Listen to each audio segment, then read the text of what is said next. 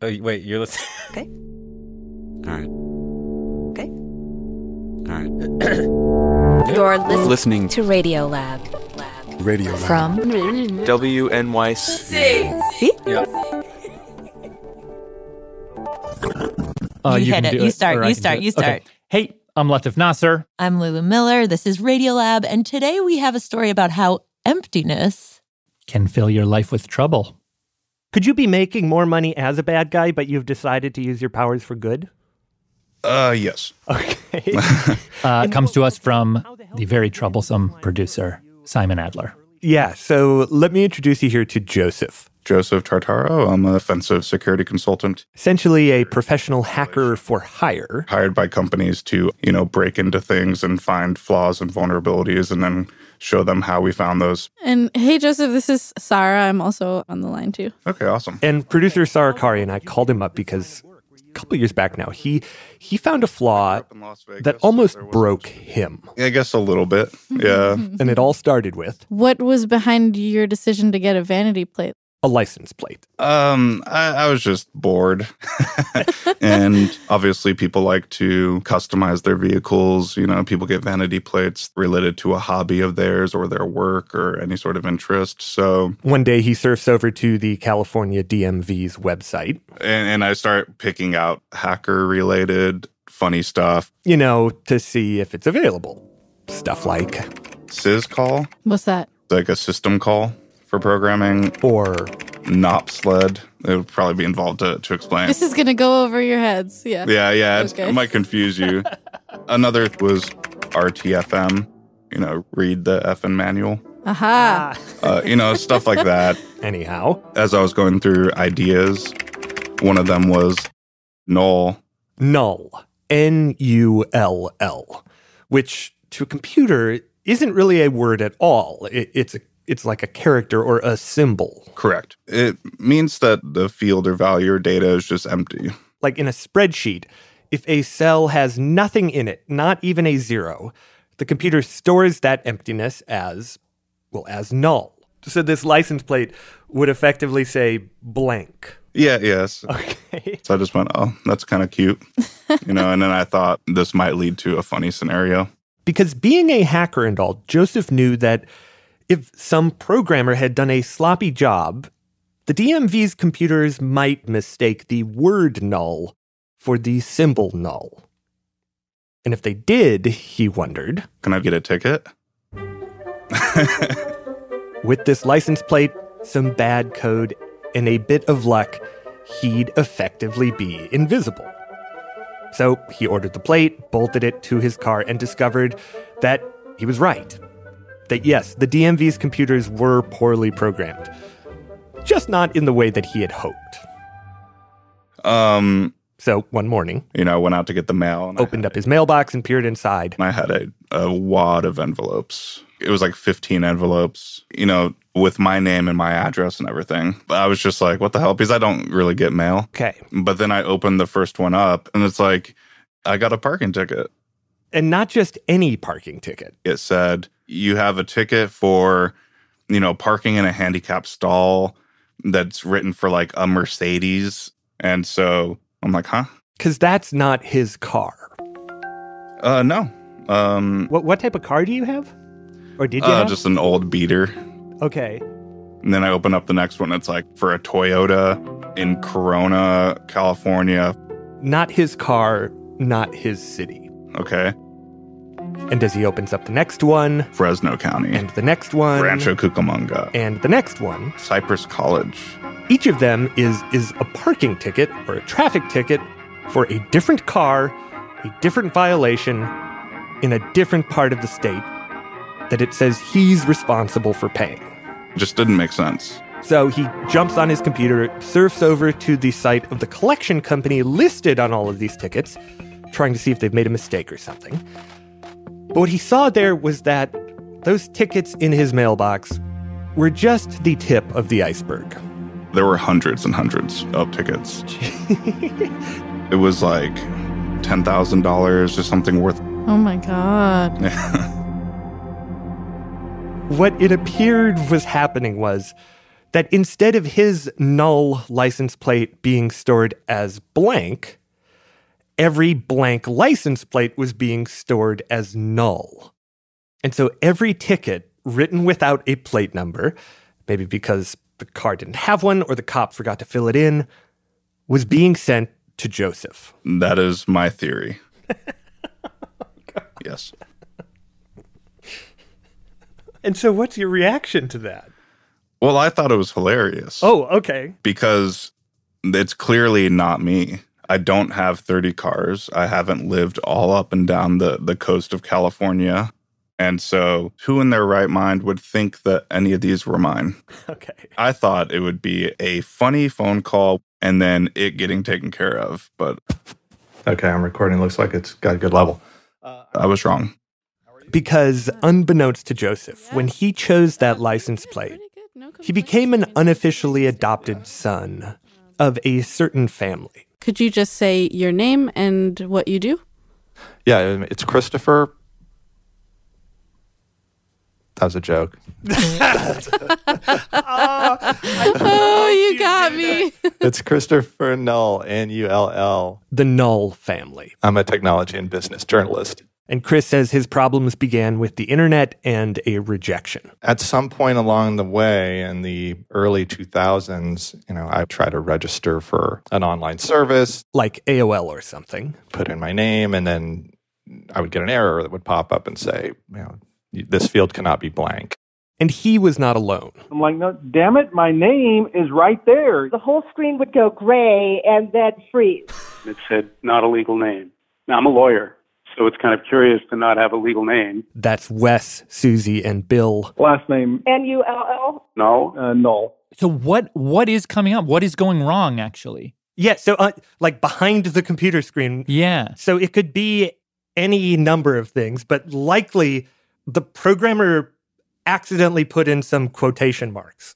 So it says like it should say if null then, but instead what they put is if quotation marks null then. Oh. And the thing is, ah. well, that sounds like it, it should be an easy problem to solve. It's not like this happens just one place in the code because once it gets inserted into the code, hmm.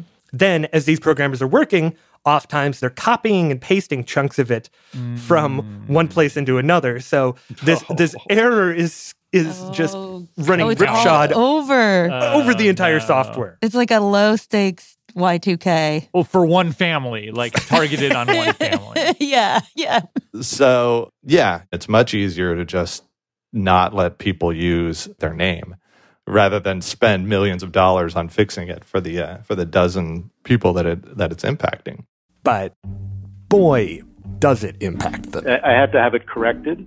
Bill here says he sometimes gets letters from the IRS or Medicare Stuff from the government written out to William, no last name. Or Verizon sends me bills regularly that, that say, uh, you know, dear Doctor Undefined. At first, I couldn't even see the end of it, but it's, it's just an avalanche. Adam Null here woke up one morning in college to find all of the university's undeliverable emails in his inbox. I think the sum total was about 30,000. The most difficult bit was with State Farm and And Susie Null was once trying to process an insurance claim and discovered that her name had been replaced by a punctuation mark. As in, as in, it would say Susie, comma instead of Susie Null. no, it didn't have a name at all. It just had a comma. Okay. And I'm like, oh, the null glitch strikes again. And resolving these null glitches We all love calling customer service, right? Is just about as hellish as you would imagine. Thank you for calling. Please be assured that your call will be answered as quickly as possible. Oh my God.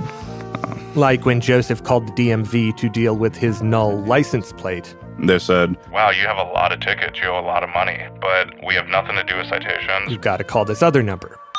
So he does that, tries to explain that these aren't his tickets. Like all of this is from the word null, but they don't care. They, they just say, What's your ticket number? And he's like, No, you don't understand. And they're just like, Ticket number, ticket number, ticket number. And we just got into like this back and forth. Okay, dumbass, we're done here. I will say the common thread in all these stories that I'm hearing, which is the, the null glitches seem to manifest in situations that are already frustrating. That's true, actually. Like dealing with your insurance company is already frustrating. Yeah. And then just dollop an extra uh, serving of frustration on top of it. yeah. And when the nulls finally get through to someone who at least understands the problem, the solution that's often offered is Well, you could change your name. And I said, Are you suggesting I change my name to quote, N U L L quote, to match the databases you're working with? this, by the way, is Sarah Null. And they go, Well, that would that's one thing that would work. And I said, Well, clearly that's not an option. Right? Clearly I'm not gonna change my name where it's not even letters anymore. Wow. So so yeah, it was it was a pretty absurd suggestion, yeah.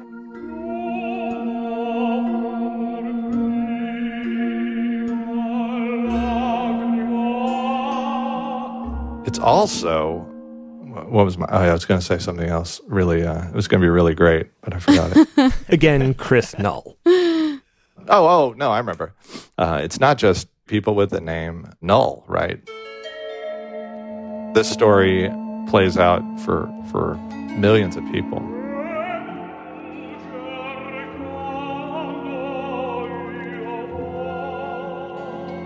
And we're going to get to that after a quick break.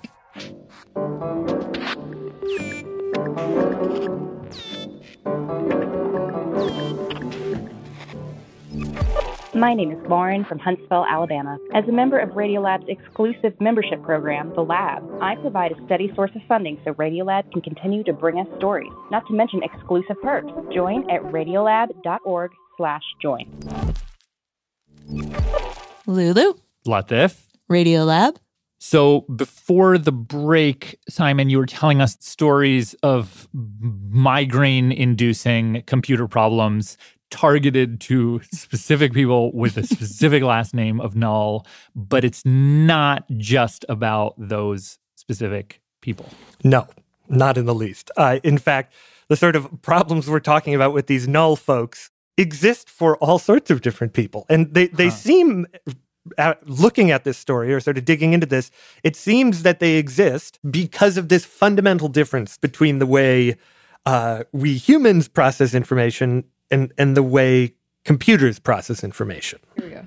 Hold on, hold on. There's too many wires out. Okay. And so if we're not very careful about translating between the two, okay, okay, we can make digital life difficult for a lot of people. What's going on?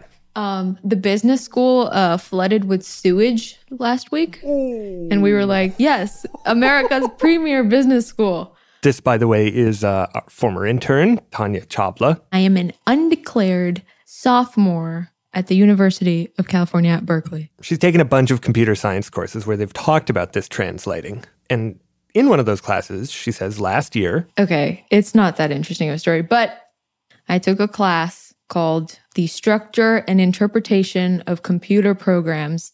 And I didn't go to lecture, but the one time, or like the few times I did go to lecture, one of the times the professor was like, when you create web pages and you ask for names, there are things that you should think about. Uh huh. And so, because we're like the future of technology and, and programming, on the lecture slide, our professor included this list. The list was titled, quote, Falsehoods Programmers Believe About Names. And it was these 40 bullet points with a preamble that read All of these assumptions are wrong. And now, as a public service, Tanya will read us some highlights from that list. People have exactly one full name. That's an assumption. People have exactly one full name, which they go by. People have exactly n names for any value of n.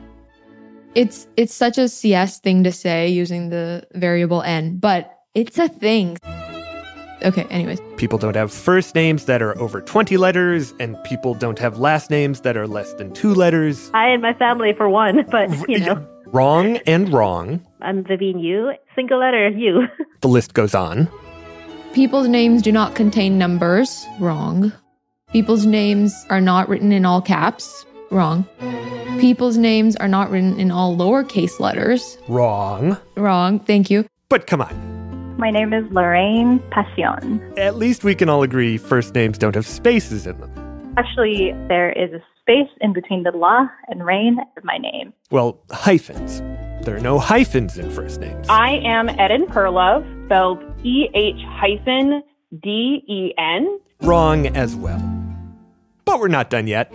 People's first names and last names are by necessity different. My name is Yang Yang. Wrong. And yes, we do exist. People have family names shared by their relatives. Wrong in Iceland. And on and on. No million people share the same name.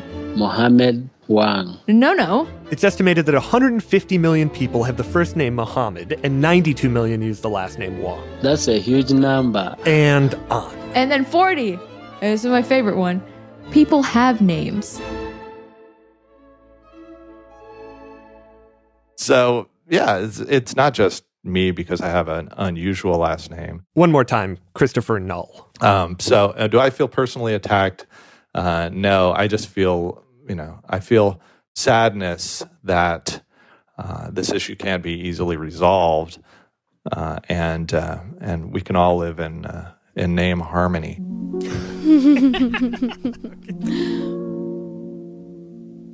So, to wrap this thing up, our man from the top, Joseph Tartaro, over the course of, of a year or so, he was told countless times to just change his license plate, that that would resolve his issue. But, being a man of principle, I never did because that's not a solution and it doesn't actually fix the issue. so he fought this thing, made hundreds of phone calls, spent untold hours on hold, even went to his local sheriff's office to try to get this resolved. And today, his plate still reads null. His record has been cleared by the DMV. And more than that, If you try to look up my information on the website, it doesn't let you search the word null anymore. So I don't know. wait, what what on earth could that be? I, I don't know if they just put a block in or they stopped taking tickets or or what. So now it's started a whole new conversation of well now you really can't get tickets. Well, know, right. so- Are you have have you have you arrived at the promised land here after four years in darkness? Uh, uh, potentially.